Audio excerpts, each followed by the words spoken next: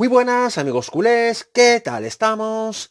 Pese a los rumores que vienen de Madrid insistiendo que Neymar se vestirá de blanco este mes, el crack brasileño sigue ajeno a todo eso y sigue disfrutando de lo que resta de verano, esperando cerrar su fichaje por el Barcelona muy pronto.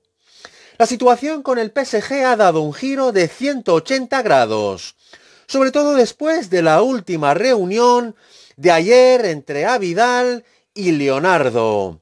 Pues según una fuente parisina de prestigio, el jeque del Paris Saint-Germain acaba de rechazar la última oferta de Florentino, que es Vinicius más 100 millones de euros, y llega a un acuerdo con el Barça para la venta de Neymar.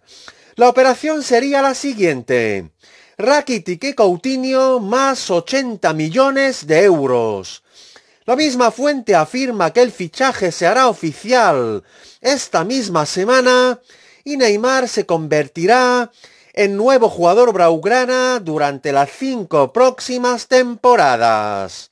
Esto ha sido mi grandísima noticia de hoy, amigos culés.